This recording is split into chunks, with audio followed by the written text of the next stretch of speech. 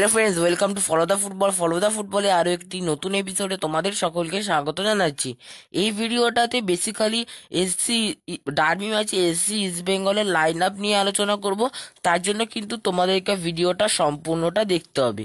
আর যার এখনও পর্যন্ত এই ফলো দ্য ফুটবল চ্যানেলটিকে সাবস্ক্রাইব করোনি ফলো দ্য ফুটবল চ্যানেলটিকে সাবস্ক্রাইব করে দাও। ইন্ডিয়ান ফুটবল এবং ফরেন ফুটবলের আপডেট সবার আগে পাওয়ার জন্য। তো এখানে আর কথা বাড়াচ্ছি না। সরাসরি মেন টপিকে যাওয়া যাক। তো ডার্বি ম্যাচে এটিকে মোহনবাগানকে এসসি ইস্ট বেঙ্গলের সামনে জেতাটা কিন্তু খুবই টাফ ব্যাপার হবে। কারণ এসসি ইস্ট ডিফেন্স কিন্তু অনেকটাই শক্ত, বিশেষ করে লাস্ট পাঁচটা, ছটা ম্যাচে কিন্তু এসসি ইস্ট বেঙ্গল কিন্তু অনেকটা ডিফেন্স শক্ত করেছে। এবং এর জন্য সবচেয়ে কৃতিত্ব যার, তাই হচ্ছে রেনেডি সিং রেনেডি সিং কিন্তু এসসি ইস্ট বেঙ্গলের ডিফেন্স কিন্তু পুরোপুরি তৈরি করে দিয়ে গেছে। এবং যেখান থেকে রেনেডি সিং শেষ করেছে, সেখান থেকে মারিও রিবেরা স্টার্ট করেছে। এবং মারিও রিবেরার হাত ধরে কিন্তু এসসি ইস্ট বেঙ্গল ফার্স্ট জয়টা পেল। তারপরে সবাই ভেবেছিল যে এসসি ইস্ট বেঙ্গল এখান থেকে ঘুরে দাঁড়াবে।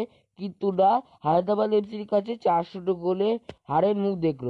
যদি হায়দ্রাবাদ এফসির কাছে চারশো গোলে হারের মুখ না দেখতে যদি কমসে কম যদি ড্র করতো, তাহলে কিন্তু প্লেয়ারদের মনোভাব তীব্র থাকতো। কারণ তারা দু পরপর দুটো ম্যাচ তারা আনবিটেন থাকতো। যেহেতু চারশো করে হেডে ডার্বি খেলতে আসছে, এটা কিন্তু খুবই কঠিন ব্যাপার এসসি বেঙ্গল প্লেয়ারদের জন্য। তবে আমি মনে করি এসসি ইস্ট বেঙ্গলের পক্ষে ডার্বি ম্যাচটা জেতাটা কিন্তু খুবই কঠিন ব্যাপার। এসসি ইস্ট বেঙ্গলকে টার্গেট করা উচিত যে কমসে কম যাতে ডার্বি ম্যাচ থেকে এক পয়েন্ট বের করে যে, কী করে এক পয়েন্টটা বের করে নেওয়া যায়। তবে বলা যায় না, বড় মাঠে কোনো প্রেডিকশান হয় না। তবে যদি যদি সব ঠিকঠাক থাকে তাহলে কিন্তু এটিকে মোহনবাগান জেতার চান্স বেশি। তবে বললাম বড় ম্যাচে কোনো প্রেডিকশান হয় না। তবে দেখার যে বড় ম্যাচটা কে জেতে। ডার্বিতে কিন্তু মারিও রিবেরা এসি ইস্ট বেঙ্গলকে ফোর ফোর টু ফরমেশনই মাঠে নামাতে পারে। গোলকিপারে থাকবে অরিন্দব ভট্টাচার্য। চারজন ডিফেন্ডার দুটো সেন্ট্রাল ডিফেন্ডার তো প্রায় কনফার্ম বলা যায়।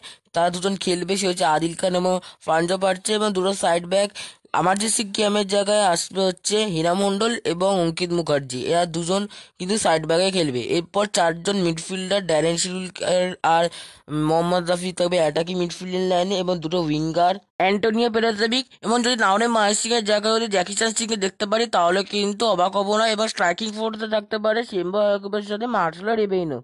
তো এটা আমার বেস্ট ফরমেশনটা আমি তোমাদের সাথে শেয়ার করলাম। মারিও রিবেরা কী ফরমেশনে মাঠে নামাবে এখন সেটাই দেখাম। সো ফ্রেন্ডস এই ভিডিওটাতে এস ইস্ট বেঙ্গলকে নিয়ে আলোচনা করলাম। ভিডিওটাতে ভালো লাগলে অবশ্যই লাইক করো। চ্যানেলটিকে সাবস্ক্রাইব করে দিও। চ্যানেলটিকে বন্ধুদের মধ্যে শেয়ার করতে একদমই ভুলো না। এই বিষয়ে তোমাদের কি মতামত অবশ্যই আমাকে কমেন্ট করে জানিও। দেখা হচ্ছে নেক্সট ভিডিওতে ততক্ষণের জন্য বাই